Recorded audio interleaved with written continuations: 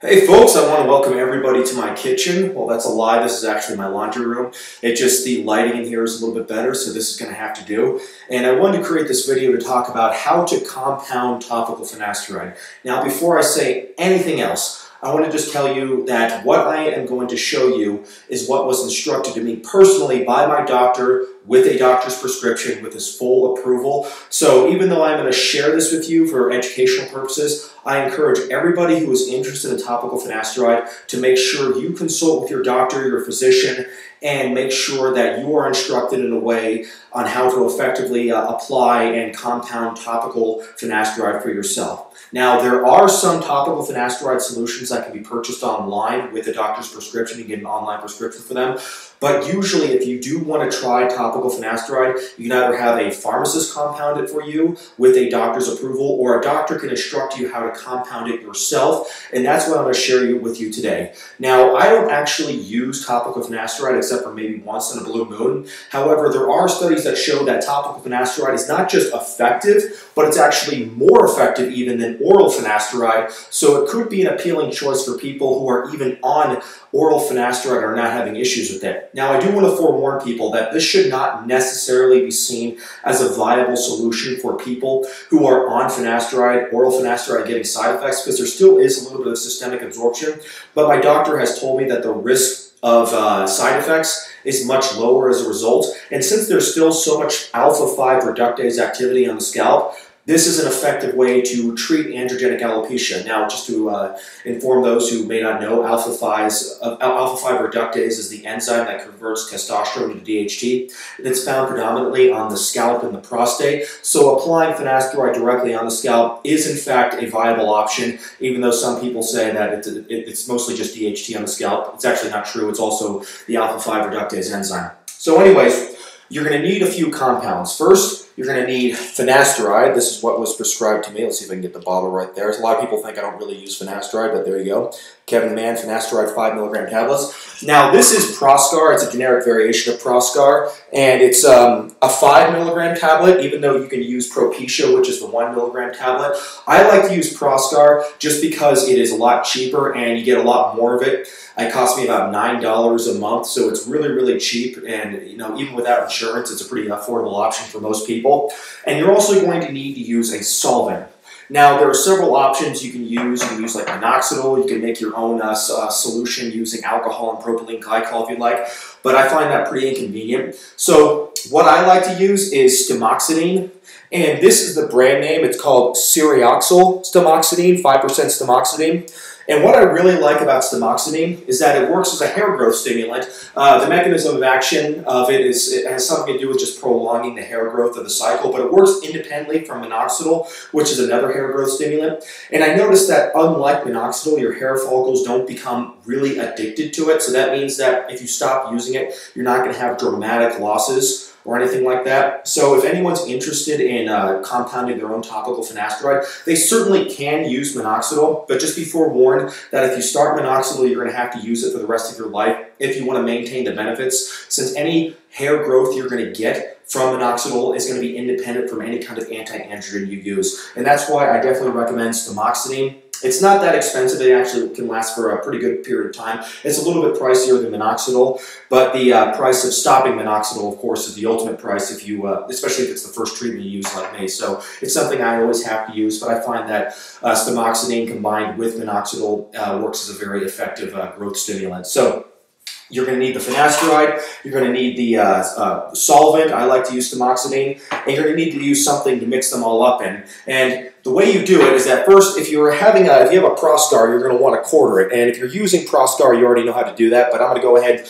and just quarter it with a knife real quick. I usually recommend using something like a uh, like a, a, pill cutter. Uh, I I don't have a pill cutter currently. It snapped in half when I was using it, so I'm just going to go ahead and use a knife. So let me go ahead and just go ahead and cut this real quick.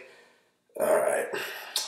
And you know, this will give you roughly 1.25 milligrams of finasteride, which is what you're going to need if you're going to create like a, uh, a topical finasteride solution. You can make it in bulk if you'd like, but I like to use uh, make it so that it's just like a one dose, one dose per um, uh, per use, so I don't have to like store it or anything. So then This is what a quartered finasteride tablet looks like. It's very, very, very tiny.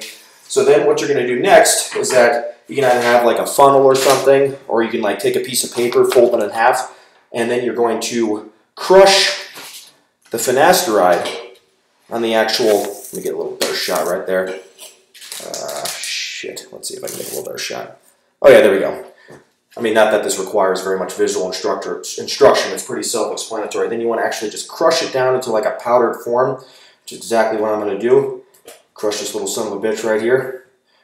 And I should forewarn everybody, if you have like a wife or girlfriend, actually somebody asked me about this in the forum, if you have like a, a girlfriend or wife who's pregnant or may become pregnant, keep them the hell away from this shit because even though finasteride is normally harmless, one really big exception is that it can cause birth defects in uh, unborn children. So just make sure that none of these broken tablets get anywhere near your wife or girlfriend if they're pregnant or they may become pregnant, and just uh, just keep that in mind.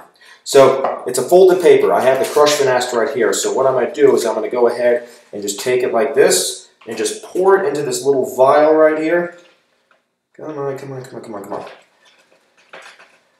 And this, roughly, is enough for like one dose. But of course, you're going to need a solvent as well. And that's where the stemoxydine is going to come in. And as far as much how much stemoxydine you want to use, you want to basically just use enough so that you can get full scalp coverage. Now, as you can see, I have a huge ass head. And so I'm going to use a lot more than what people normally may use. I need about four to six milligrams, uh, milliliters, I should say. But a lot of people may benefit from using just like three milliliters, just based on the shape of your skull. And that's another reason why I recommend talking to your doctor about it, because you know he can instruct you on what you do specifically. But if you are going to compound it yourself, just make sure you use enough for full scalp coverage. And the reason why I say that is because even if you um, don't have hair loss everywhere, uh, let's say a pattern hair loss like I do, then chances are eventually the hair follicles that aren't giving you problems will give you problems in the future. So as a preventative measure, just make sure you have full scalp coverage. So what we're going to do next is that we're going to take the little droplet in this thing and this up to this blue line which you see right here, that's roughly two milliliters. I'm going to put it in this little vial right here. Here we go again. a little more than that. Okay, and this stuff is this stemoxydine. It smells really, really nice. It smells like the inside of a salon. Uh, the only problem is that it makes your hair a little bit greasy, so it might be a good idea to apply it at night. And I got a little cork over here. I'm going to shake this guy like crazy. And if you still see some like residual powder left in it, that's fine. Just make sure you grind it to a very fine powder. But it should be mostly dissolved but if you have a tiny little specks left, that's no big deal. It should still be small enough for scalp penetration. That's what my doctor told me. So this should still be viable for topical use. Okay. So this doesn't look like very much, but if you know how to apply it effectively, it should be good enough for full scalp coverage. So that's what I'm going to do right now. Okay, so I'm going to try to get close to the camera doing this. I should have brought a chair in. But anyways, and also my hair's a little messed up and greasy anyways because I just got done working out. It was an okay workout. I did uh, 285 pounds on the bench for five reps for a few sets in a row.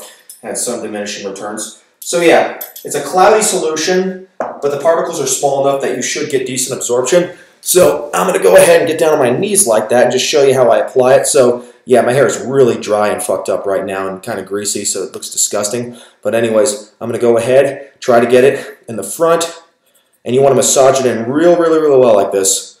And then um, I want to kind of get it on the side too, around the temples. And this is really easy to apply. Uh, people complain about this kind of stuff or just kind of being pansies about it. But anyways, first you want to get on the front, and then you want to try to get on the back area, especially around the crown where people develop bald spots. So whether or not you already have a bald spot there or not, you want to try to get as good coverage as possible. And I'm just going to show you like how I do it in the back is that I just kind of feel around for like the uh, back of the head, the farthest tip, just before, just above where the horseshoe would be. And I just kind of rub this guy in a little bit. And then just use whatever's left to kind of touch up and put what you can on top of the scalp. And you know, I have like kind of long right hair right here, so just make sure you part the hair effectively. And just get it as best you can. You just want to make sure you really uh, put this hard on the scalp, and then like uh, like I don't press it really hard. Just press it like uh, firmly on the scalp, and then when you feel like it wet, like rub it in so it doesn't drip on your forehead, and just kind of gently press the plunger. You can do this with any dropper, and just kind of rub it around. and that should do it. All right, so that is how you guys make. Let me get my my face in the picture again. Okay, so that is how you got, and also like you know, just maybe just uh, massage it around a little bit. Make sure you really get it in the scalp like that. You don't want to just pour it on your scalp. That's not too effective. But you would apply it just like you would any topical. So if you're using minoxidil, it's pretty much going to be the same.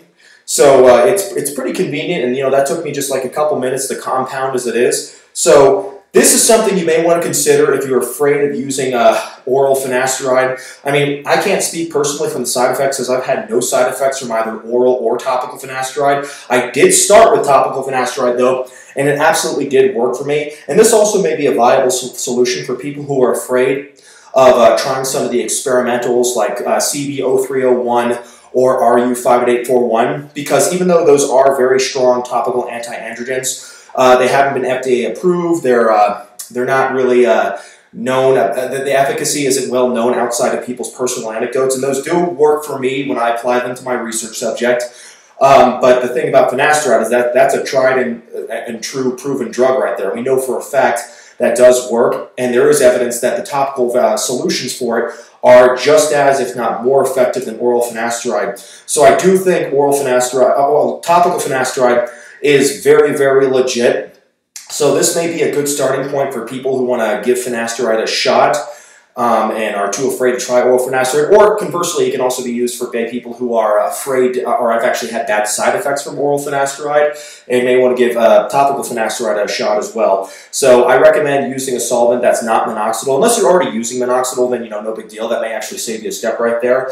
Uh, because minoxidil, of course, is something that I wouldn't recommend using unless like uh, the other things you're using aren't working well enough. So it should never be seen as like a standalone treatment, but rather an adjunct to help better uh, assist your overall hair loss fight uh, when it, an adjunct to other treatments. So, um, anyways, uh, that's all I wanted to say about that. I hope you guys uh, enjoyed the video, found it informative. I'm sorry about the shitty camera angles and everything. But if you guys have any more questions about this, uh, just let me know in the comment section, and I'll definitely try to get back to you. And I will be back soon with more content. Take care.